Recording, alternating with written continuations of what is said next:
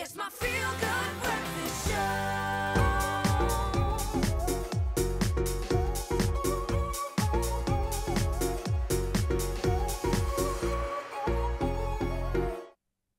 Happy Wednesday, South Africa. My name's Clem Pedro. We're in the kitchen for the culinary hotline. Bling! Ding, ding, ding! I'm not alone. I'm in the kitchen with the whole fiance herself, Zoe Brown. Thank you, Clem. Thank you, thank you. How, how are you? Okay, how are you feeling? Are you, are you even going to be able to cook? Are you just going to be like? No, I'll be able to cook. I, Okay. I now have to learn recipes, but I, um, yeah, it's still, I think it's feeling real now because people are celebrating. They are. Are you going to only be cooking with one hand because your other hand, that rock, is just like holding you down? Are you going to be okay to, to cook with just one hand today? Or are you going to manage I'll, to? I'll, I'll use both hands, I promise. I'll use both hands. Uh, okay, can you just like show the people one more time? Show them. Oh, it's so bright. It's in my. Oh my goodness.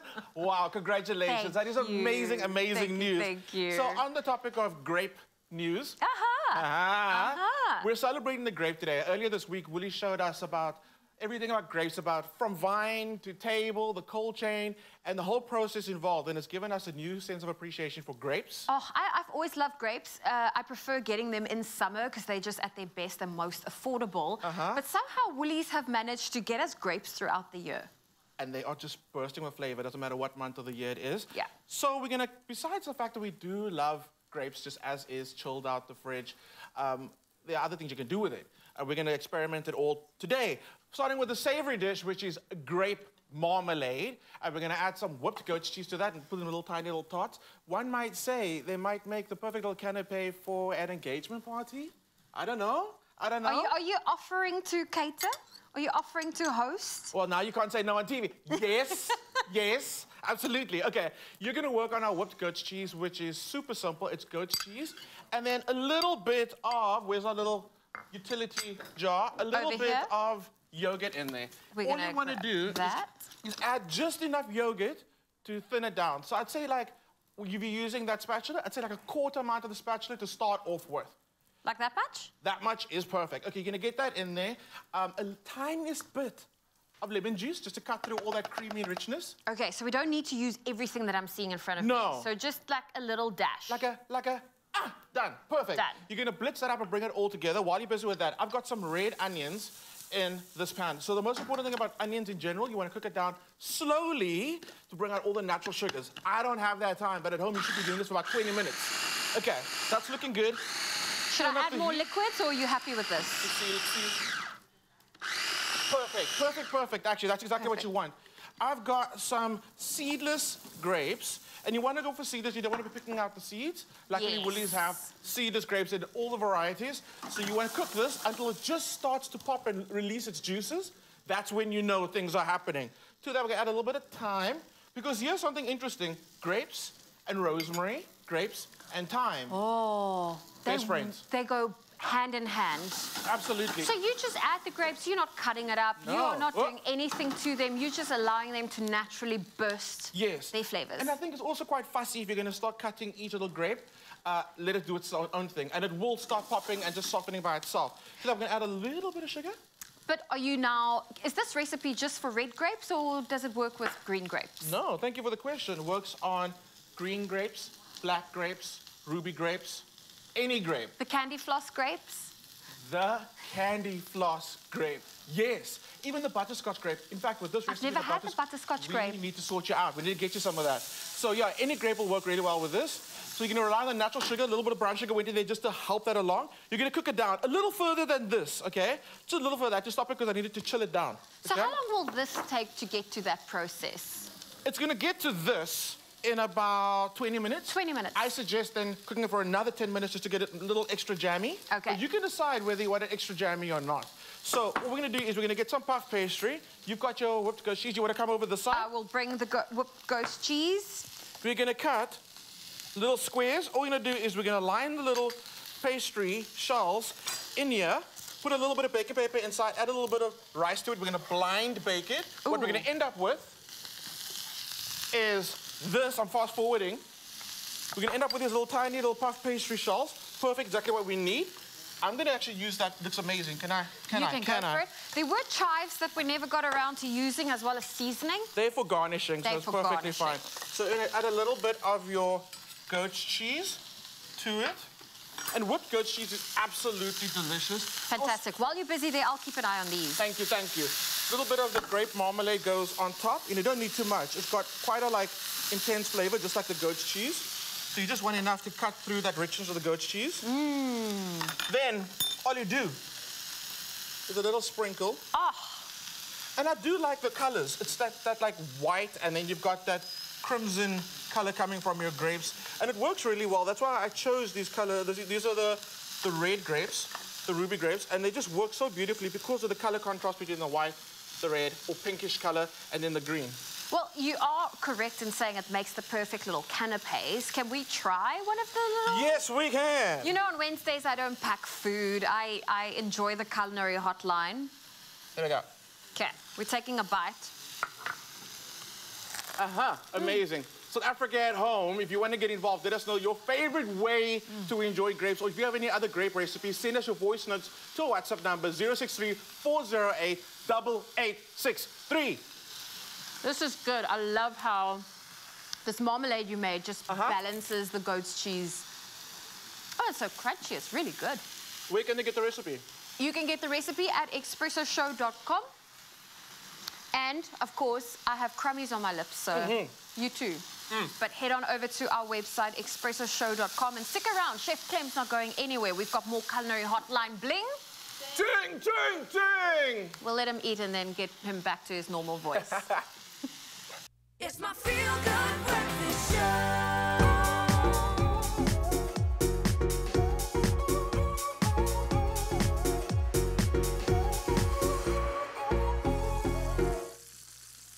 Welcome back to South Africa for the second installment of the Culinary Hotline Bling! Ding, ding, ding! Did you see the tarts Zoe and I made? Mm-hmm. They were delicious. Amazing. They were in the, they were just so good. If you haven't noticed yet, I'm in the kitchen with Graham, the main grape himself. he and I are gonna be making a little spin on a coq au vin. I'll tell you more about that in a second. If you wanna let me know what your favorite way to enjoy grapes are, send us your voice notes to 063 408 8863. Can I tell you my favorite way to enjoy grapes? Okay. Okay, so I get them out the fridge ice cold, Okay. and then I see how many I can pack into my mouth. And okay? what's the record? Six. Six of the big globes. Okay, those big And then I let yeah? it sit there until they get warm. Oh, It's a choking hazard, so don't try it. yeah, no, please don't do that at home. Until they get warm, and then I just crunch, Crunch down. away.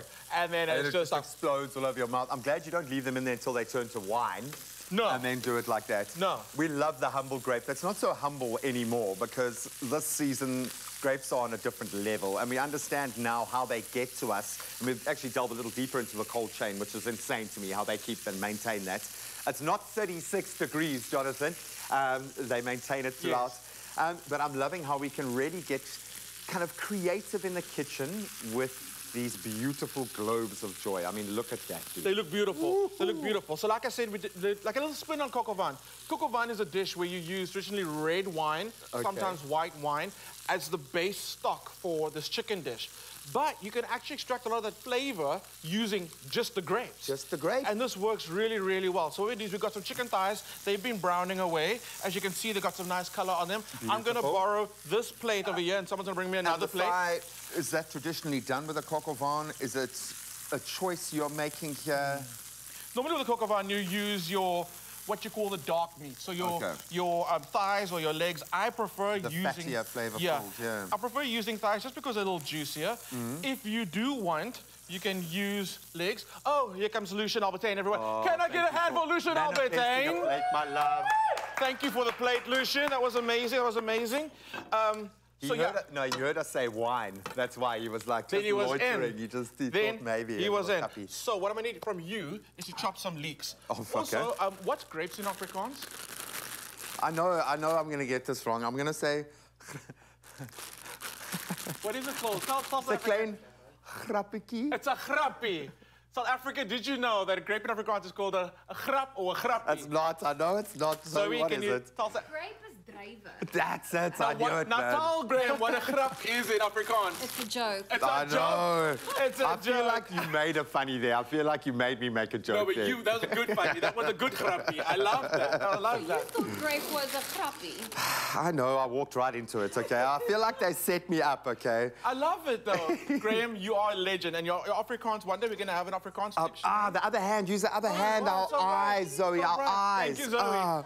we are going to have a dictionary that we're going to print, and you'll be able to buy it in, in a PDF form or the actual physical hard copy called Afrikaans according to Graham. Exactly. It's going to be coming out soon. Look out for Funny, that. the Engels. met The Engels. So you can just give me, give me all of it. I want the greens and the whites. These Okay. are the baby leeks, and I'm using leeks because it's softer than like using harsh onions. And they cook down a little quicker. So you can And they get a love. They can become really soft and delicious in that sense. Absolutely. Yeah. So you can About Yeah, that's it. That's it. Cool. So we're talking about the cold chain. By the way, and I heard you mention this, I was in a t-shirts and shorts because the temperature outside on the day was 40 degrees. Wow. So I had to dress appropriately, 40 degrees t-shirt shorts. then when we went into the cold storage, minus one. So I went from minus one degrees to 40 degrees. And that's just the commitment and the intensity of like what goes behind actually harvesting Maintaining grapes. it, eh? Cold chain, I'm telling you, it's Yeah. absolutely amazing. And we got, we'll literally take you inside the cold chain. Yes. One degrees that it is after the break. I cannot wait. Okay, I'm going to leave these little stumpy guys good. like that. Leeks can join the olives.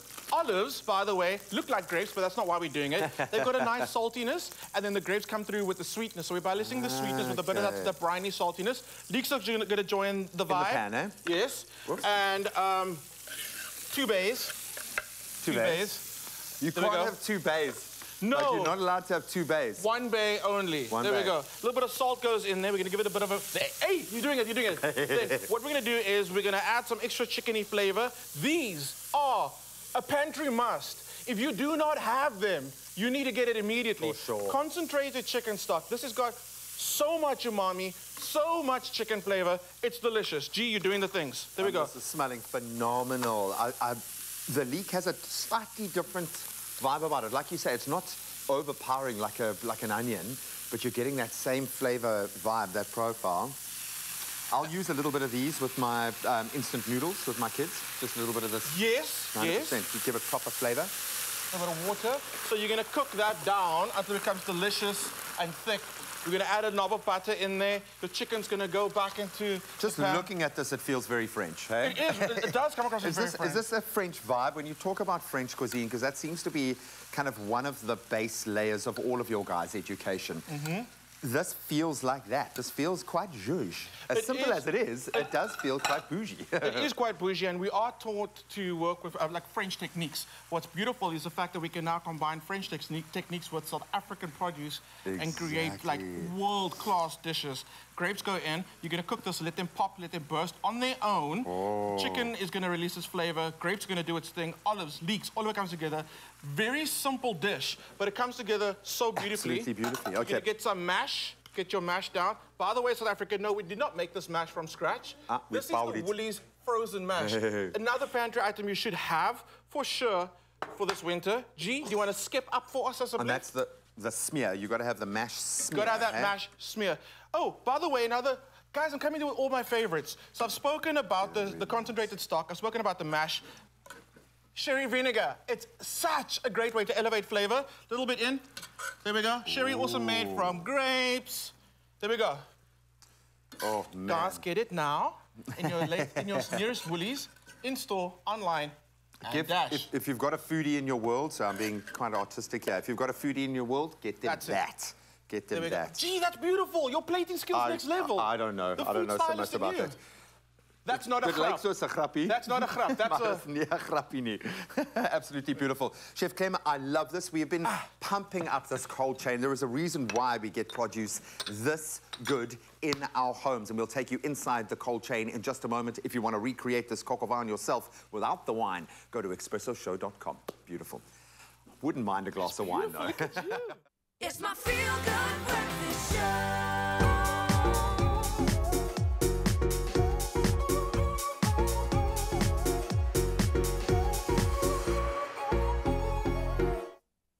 Welcome back, South Africa, to The culinary hotline bling. Ting, ting, ting. Yeah. Hi. That was beautiful. Thank you. I try Where my do best. you where do you harness that? I, I harnessed it from Jonathan Roxmouth, who is our guest today. And I can tell you that throughout the course of what we're about to do, we have a backtrack constantly. A key change, if you will, with regard to what we do. I love it. Like if you're looking for proper, let's just say, intense music. Intense music? take a listen to the intensity in this right now. Listen. That's it.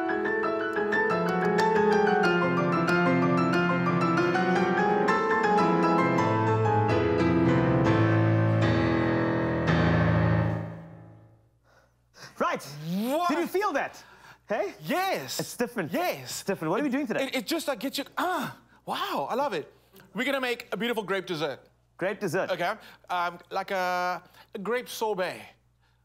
Sounds delicious. Sounds amazing. It's visual. It's all of everything you need. Because I believe that ice cream or sorbet is best enjoyed during winter. Don't don't argue with me. 100% agree. 100%. And someone else who loves grapes Yes. is Josephine Pixton. Josephine! Hey! Pick of the bunch. Yummy. I love she- grapes. yes. It's yummy with Greek yogurt, or as is, with the hand sign. Hashtag Expresso Show, SABC3. Shabba Thank you. Good comment.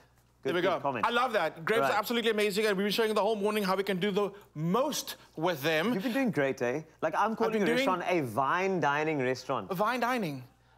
I've been doing grape, and it's no, no. I love it. Carl, you're just full of it. I, I- I love Okay, it. I'm Okay, al- always full of it. Very, no, no, in a good way. me. In a good way. We're gonna take our black seedless grapes. Yes. These are the melodies. How appropriate. And we're gonna freeze them. Okay? I like, I like them. You know why? Because the skins give them a tartness that I really enjoy. Uh, These ones.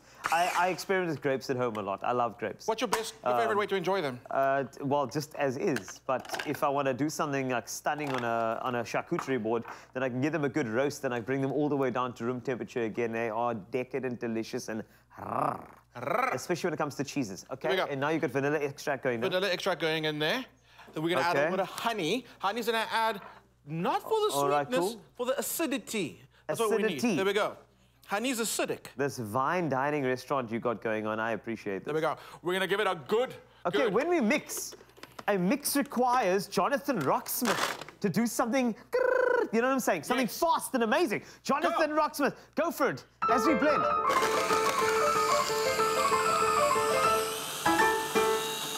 Yes! Yes. Get that. Okay.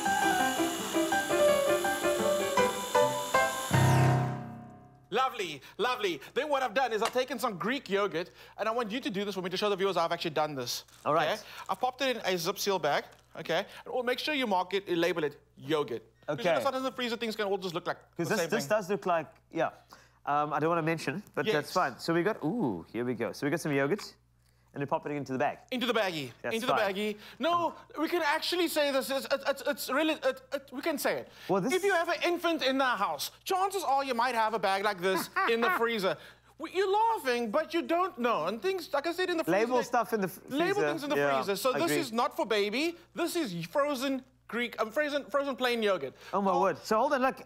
Jonathan Roxmouth, help me out here, because this is a very, very, like, Mission Impossible type of moment, isn't it? Let's see if I can do this. Here we go. Jonathan Roxmouth.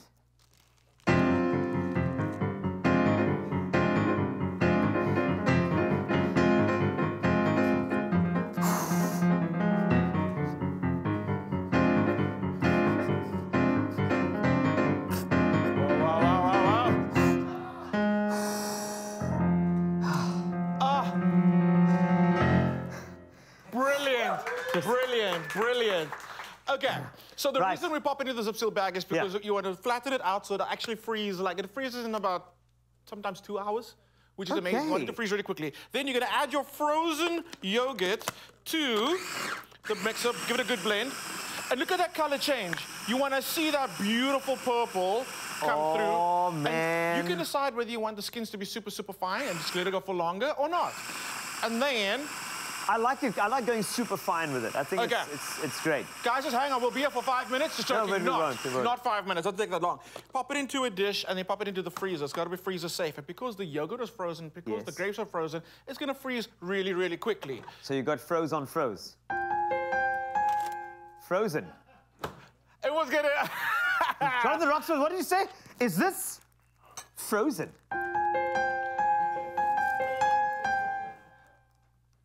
It's beautiful. Beautiful. You better you better continue it again because I just want to feel this.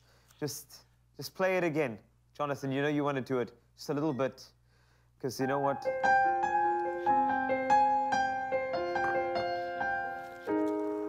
The cold never bothered me anyway. Wow.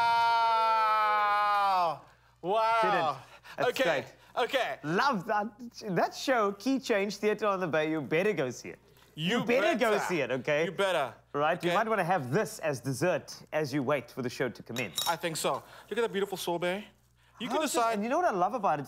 Texturally, Uh-huh. you've got a beautiful, just a, uh, like, I think the mouthfeel is probably going to be great.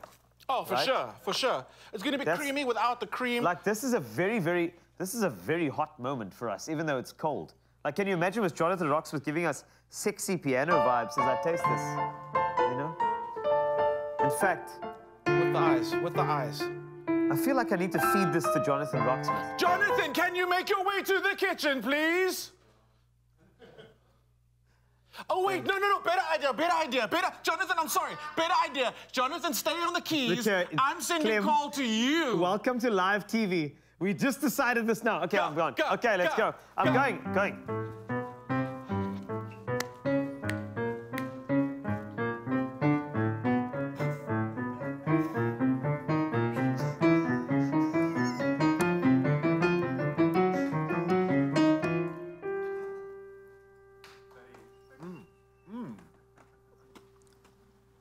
It's almost like cheesecake. Is it like cheesecake? It's really good. It's it's, it's beautiful. Mm. How does it make you feel in, in a piano level? A piano level of. On a piano level, it- Yes. well, it kind of makes me feel